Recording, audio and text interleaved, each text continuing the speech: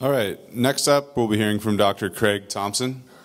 He's a landscape wildlife ecologist with the U.S. Forest Service and Conservation Biology Institute in Corvallis, Oregon. He completed his PhD in wildlife ecology right here at Utah State University.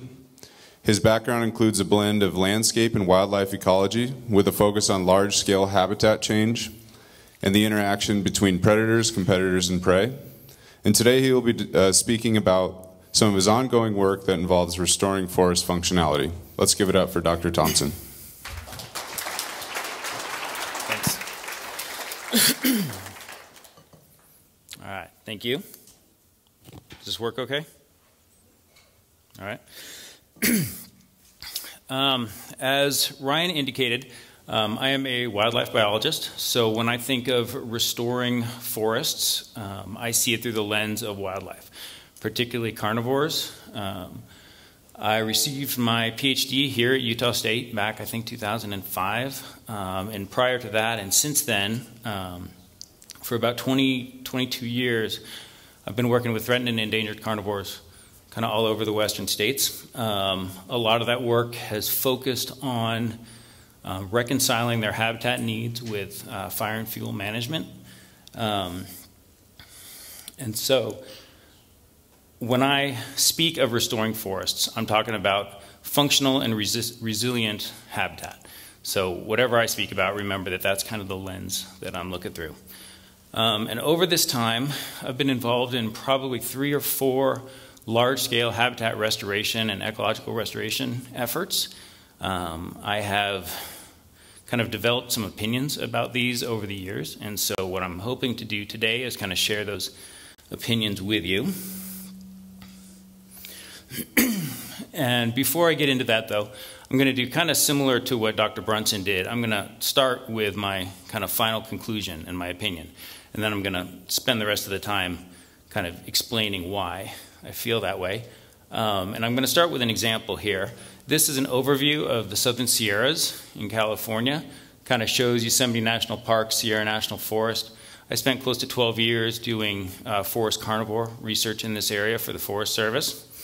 Um, and this is one example of some of the stuff that we were doing. It, I did a lot of fisher research there. If anybody's familiar with fishers, they've been on and off the endangered species candidate list in the West States since something about 1990. And this is just an image of some fuel reduction projects that we did in a little area called Blue Canyon of the Sierra National Forest. These were part of probably a 2,000 acre fuel reduction um, effort overall. We did, and, and I was deeply involved in trying to develop these fuel reduction things. They did what all the research tells us to do. We had irregular edges. They were scattered across the landscape. We maintained our canopy cover, our large trees, all of those things that the research tells us you know, are important for the various individual species that we're concerned about. This was in roughly 2009. I think this project took about three years to put together. Um, this is an overview of the rimfire, which people have probably seen before in 2013, 257,000 acres. Uh, the vast majority of it was burned at fairly high severity. I thought about putting kind of reference bars and a scale on there, but it's, it's somewhat ludicrous. Um, you're talking about a, a spatial orders of magnitude greater. The natural disturbances and events that are occurring right now so vastly outpace our ability um, as managers to, to, to try to, to affect these things. Um, and then on top of this, if anybody's familiar with what's been going on in the Southern Sierras lately, 2014, the conifers started dying from a combination of climate change, drought, bark beetles, kind of pick whichever blame you want to give. But the bottom line is, um, the bottom line is that my opinion after 20 some years trying to do this is that yes, forest restoration is certainly possible in western forests. And again, I look at it from the, through the lens of wildlife habitat. I do believe it's certainly possible, but not under our current uh, management and regulatory framework. There's just too many big discrepancies going on. Um, and I have to take responsibility for some of it. Like I said, I was deeply involved in those fuel reduction treatments, and then they just get completely swamped uh, by what nature really wants to do. So I'm going to talk about two projects, give you some examples as to why I've kind of come to this conclusion. Um, As I said, for about 11 years, we ran a pretty intensive fisher uh, monitoring project in the Southern Sierras. Fishers, like I said, they've been on and off the endangered species list. They've kind of replaced spotted owls in the western states as the, the flagship for forestry and, and controversy in that area. Um, anybody that doesn't know anything about a fisher, essentially it's a, a tree-going weasel about the size of a house cat. Um, historically, they were distributed up and down California, and now they're relegated to a couple of um, native small native populations and one introduced population in the Central Sierras. And so the Forest Service was interested in getting basic ecological information on fishers and understanding how they responded not only to management but also to forest heterogeneity in general. Um, the idea being that if we understood how they responded to natural variability on the landscape, maybe we could design some management that would better mimic that, that type of, of situation. And so for 11 years, we, we threw the kitchen sink at these animals. Um, we trapped them, we collared them, we tracked them on the ground with radio telemetry. We had a plane, and we tracked them five days a week for nine years from the air. Um, we used remote cameras. We had scat detector dogs doing non-invasive genetic surveys. We climbed den trees. Um, it's really not an exaggeration to say that a fisher couldn't really sneeze in this part of the landscape without my having a technician there to kind of mark the day and time. Um, we collected a tremendous amount of information, several of which, some of which has gone to graduate students here at, at USU, I have to say. Um, but one of the things that the Forest Service was particularly interested in these animals was their use of den trees. Um, fishers are obligate tree cavity denners. They give birth in the dens, they raise their young in these tree cavities. Um, and they like, they're not too particular about the species, but they are very particular about the cavity that they use. And there was some thought that um, these might be limiting features on the landscape and so might be one of the reasons, given past history of, of forest management, to get rid of all of these dead and dying old trees. Um, this might be one of the reasons that they've become somewhat rare. And the way that the Sierra National Forest plan and several forests in that area, the way the plans were written, and those forest plans are essentially law for the, the district biologists, the local folks. They, they have to follow these plans. Um, the way the plans were written there, every fisher den that was found received a 700 acre buffer. Um, at the time when they wrote that plan, they had found five dens in the Southern Sierras entirely. And so in 2007, when we started trapping, um, of our first cohort of animals that we caught, we had 12 females, uh, or 12 adult females that subsequently denned. And so these were the buffers that were put on the landscape uh, for those animals a couple of the things that we very quickly discovered about fishers is one, they don't use just one den the entire during a season. They'll actually move and they'll use anywhere from three to six dens in a year. And so the way the regulations were written, every one of those dens got a buffer as well. Um, so that would be the first year's worth of buffer. And then the next thing that we discovered about fishers is that they don't use the same dens year after year either. Um, sometimes they do, but more often than not, they will actually pick a new set of dens. Um, and so it really wasn't very long before we had pretty much the mid conifer belt of our study area, which was about 20% of the Sierra National Forest, locked up in these buffers. Um, and the way, again, the way the regulations were written, these were in perpetuity. These were permanent as far as the uh, forest bios were concerned, whether or not there was an animal at these sites, kind of like the spotted owl. Um, nest sites. And so another kind of useful piece of information about Fisher is their highest quality habitat is a fire ecologist's nightmare. Um, they like these big dense trees.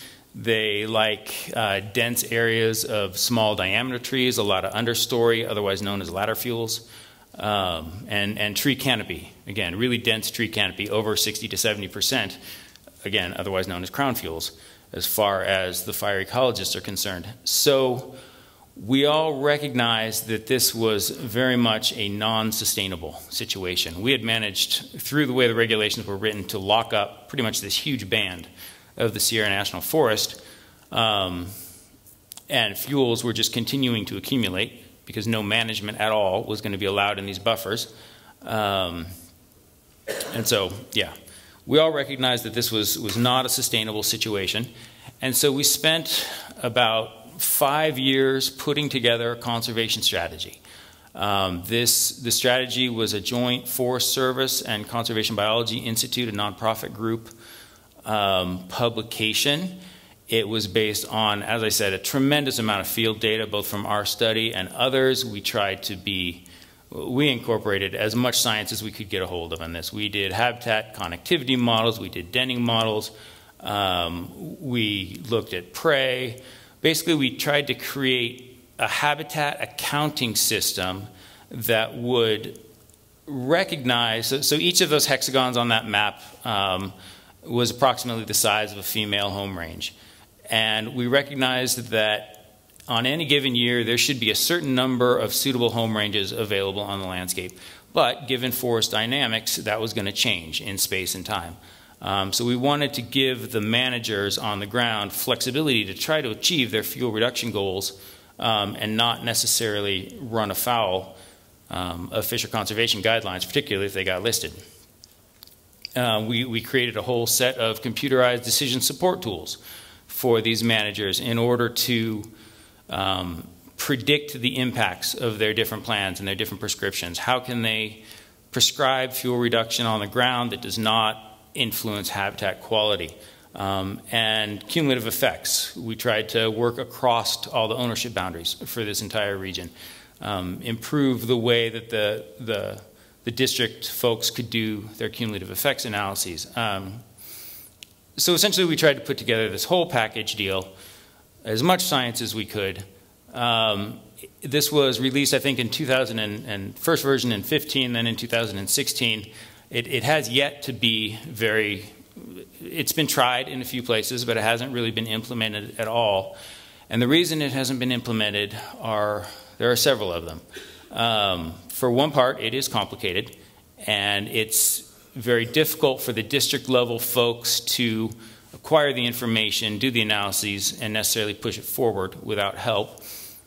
Um, and there are a lot of disincentives in the agency world for them to be creative and them to try to, to push things forward.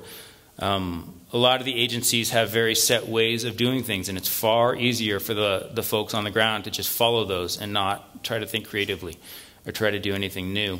Um, the other reason that it hasn't really been implemented is, as I mentioned, in, in fall of 2014, trees started dying in the southern Sierras. Um, over the next three years, we lost close to 130 million trees, over 9 million acres. Um, many areas, it's, it's over 80% mortality for the conifers. I've got a, a series of maps here just kind of to show how it progressed. Um, as I said, it really started, it started in the fall of 2014, and the mortality was a consequence combination of a prolonged drought and then bark beetles really starting to get going. And so by 2015, we saw a bit of it. By 2016, I've been told the bark beetles were up to four breeding cycles per year, and it was really starting to roll. And then by 2017, I think the beetles were up to, to five breeding seasons per year. Um, and this is when just massive amounts of conifers started dying. So losing our canopy, losing a lot of our, our, large trees, and primarily it was the large conifers that would go first. Um, and so my point with this entire description is that we put a ton of work into the science, we put a ton of work into the conservation strategy, um, and, and we're still getting the rug pulled out from under us, um, the way this goes. And nothing that we were doing, we, we thought that we were operating at an, at least an improved spatial and temporal scale with the conservation strategy that we put together.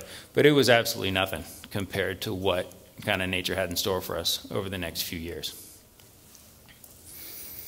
So the next example that I'm going to talk about is some work that I'm currently involved with, um, a project called the Blackfoot Swan Landscape Restoration Project up in northern Montana.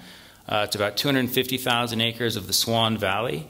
I don't know if anyone's ever seen the Swan Valley up there. It's, it's an absolutely beautiful landscape. Um, it is pretty much the epitome of what you think of when you think of kind of Montana mountainous land.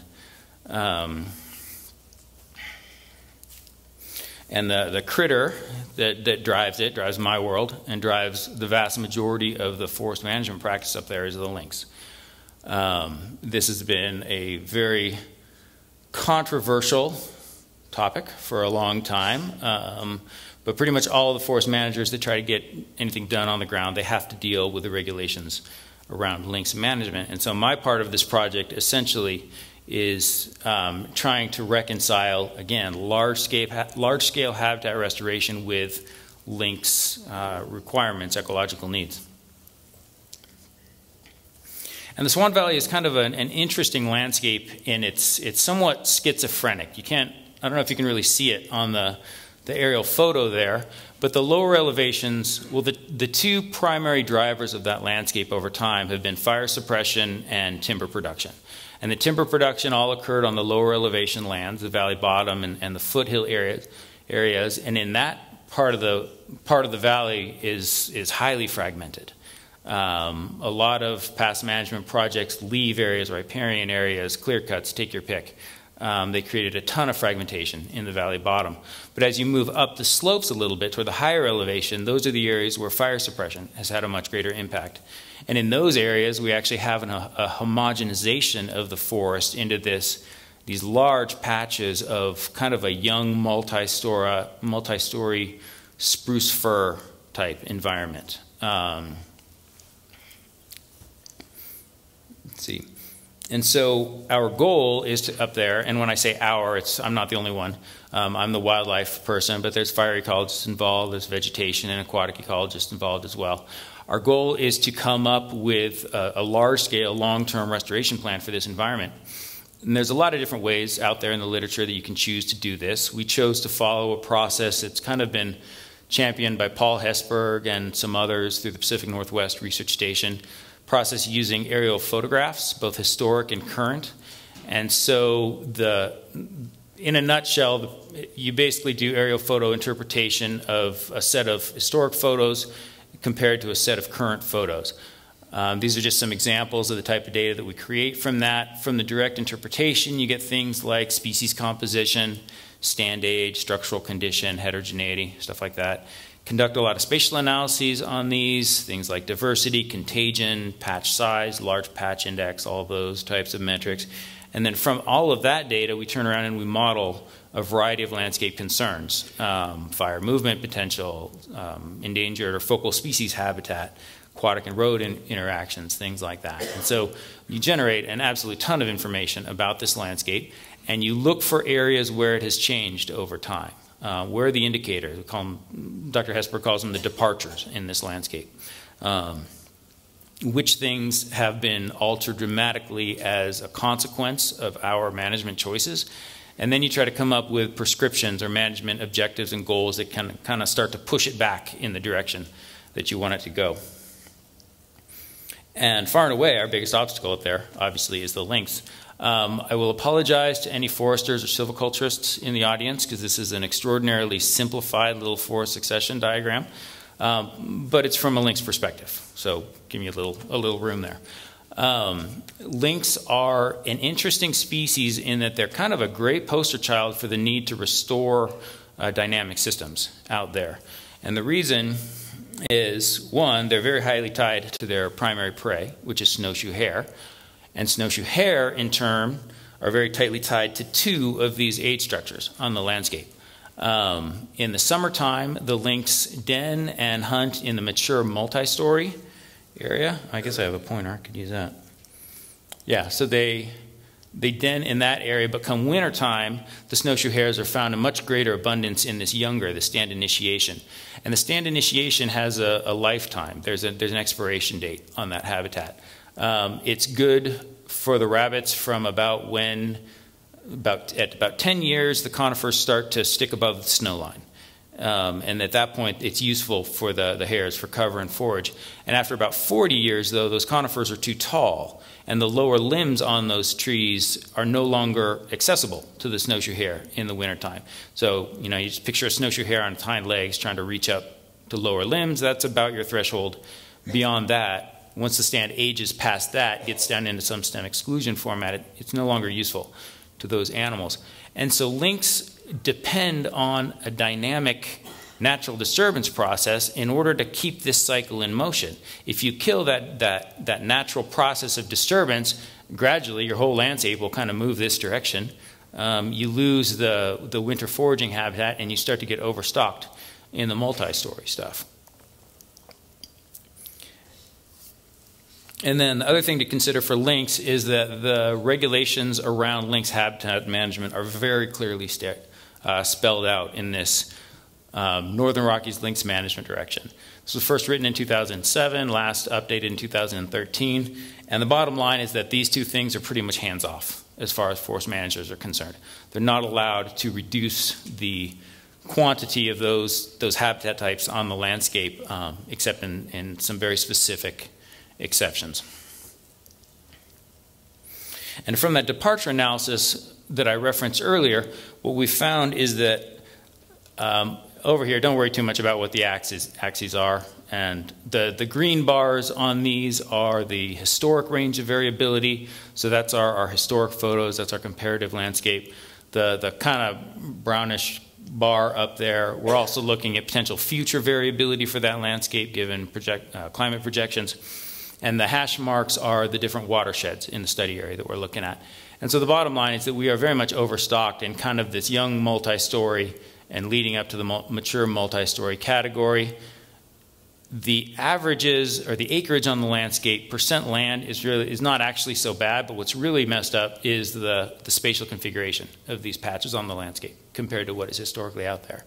Um, and that spatial configuration becomes very important when you start to picture a female lynx setting up a home range trying to defend it, trying to access both of these different types in different patch sizes and such. That configuration becomes very important to the wildlife. Um, and there's been some interesting work uh, by Andrew Larson and others up there looking at the, the natural, what maintained this cycle historically. And what it is, is a multi-disturbance um, system where, see, in order to, to, simplify this whole process, and it kind of gets back to the ball and diagram, or ball and cup diagram that, that Dr. Brunson mentioned earlier, this young multi-story is a very unstable state. Um, it requires, it's going to either, it, it's going to go somewhere based on the disturbance regime. If the disturbances are fairly frequent in that environment, it's going to continue this cycle and it's going to, going to maintain the somewhat fine scale heterogeneity that the lynx are used to. If you allow that young forest multi-story to start to accumulate after a while, on the other hand, you go the other direction and you start getting these larger stand replacing wildfires, which may or may not necessarily be bad, but what's changing is the spatial configuration of all of this stuff on the landscape. Um, and that's kind of what we saw in 2000, last year. The Rice Ridge fire up there burned over 150,000 acres of prime lynx habitat, probably the best lynx habitat in the lower 48.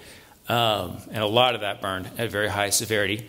Again, I'm not opposed to high severity fire. I don't even think the volume is necessarily bad on the landscape, but what bothers me as a wildlife ecologist is the spatial configuration of these patches.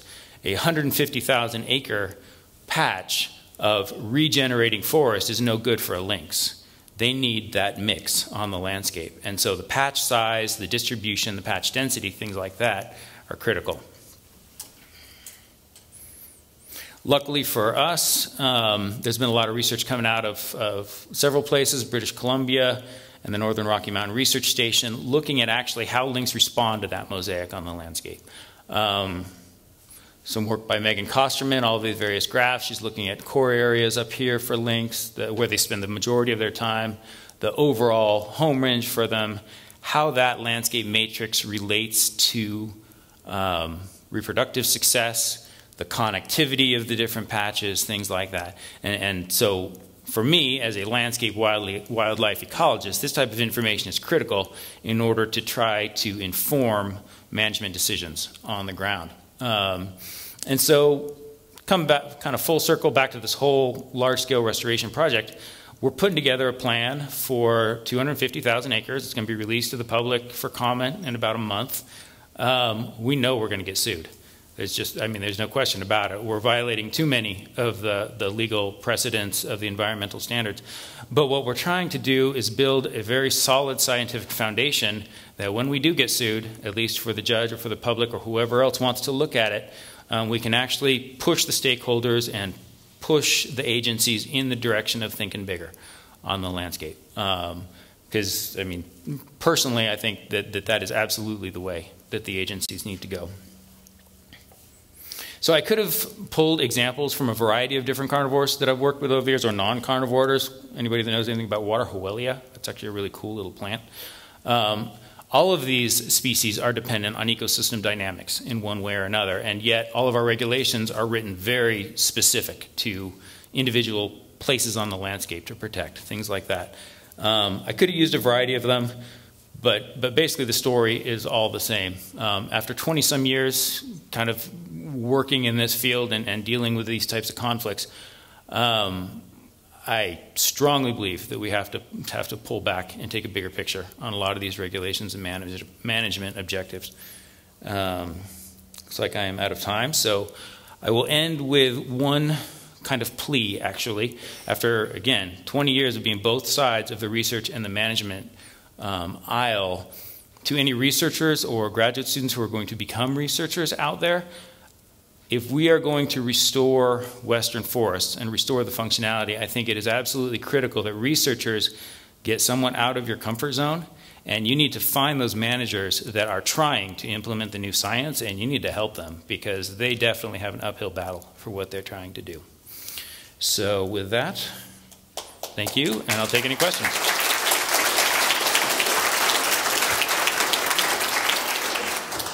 All right, we have about five minutes for questions. And just as a reminder, if you don't get your question answered, we will have an extended break in which um, you can ask these questions to all of this morning uh, this morning's speakers. Oh, yeah.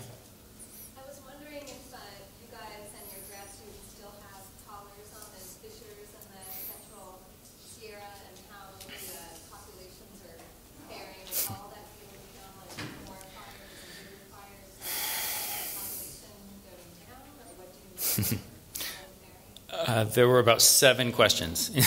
I mean, or I could have about seven answers. Um, the fires are, as they get bigger and broader, we've had a lot of population fragmentation. Uh, say there's just literally things being isolated. Um, that is a huge issue. Um, the tree mortality is an ongoing um, problem. We actually don't have Fisher's collared right now. Those projects ended in 2017. However, last month, a judge put them back on the Endangered Species Candidate list. So now it's going. We don't know if we're going to be putting them back on or not. Um, with the tree mortality, fishers are very thermally regulated. This is the southern end of their their distribution. Um, and for at least a couple of years after a conifer dies, it still has its needles. And so it is still altering the landscape for a while. Um, the animals are still there. They are still using this, this dying landscape. Um, I, anyone who happened to attend Jenny Kordowski's master's defense last Thursday, she could tell you that their stress levels are through the roof. Um, because we've been measuring cortisol in hair and trying to determine what the drivers of that, and tree mortality is a huge driver of that. And so, what the long term consequences of that are, we don't know. Um, there's a lot of research out there that that does have survival and reproductive um, impacts. We don't know if they're still in the landscape out of habit because they are territorial and they know this area. Um, they may not have anywhere else to go. Um, so there's, there's a whole lot kind of packed into that. But yes, we're still trying to, to monitor them and find out. I think there was, yeah. So single species management policy by the agencies, good or not so good? I'm not a fan anymore.